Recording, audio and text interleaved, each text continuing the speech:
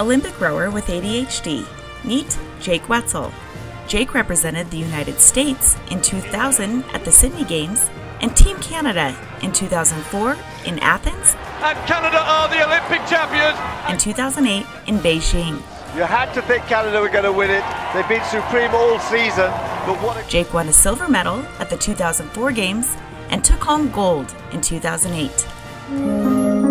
Recently, Jake joined the Unlocking Learning Disabilities podcast and shared his story and how ADHD helped him with his training. If you had to poll and say the three biggest strengths I have because of ADHD, or the one biggest strength I have, what what do you think?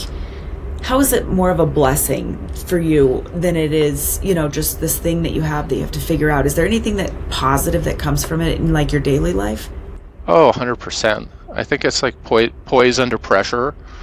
I think it's it's uh, curiosity, and uh, I would say, I would I would say kind of grit slash determination. To see the entire episode, please visit the Zarlengo Foundation YouTube page. And now for a Zarlengo Foundation summer reading suggestion for our junior high and high school kids. If you're interested in rowing or just a very compelling story, check out The Boys in the Boat by Daniel James Brown, the Young Readers adaptation. This story follows the 1936 U.S. men's rowing team.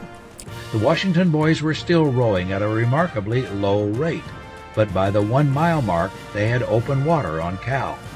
Their confidence surged. For our ear readers, this book is available on Learning Ally.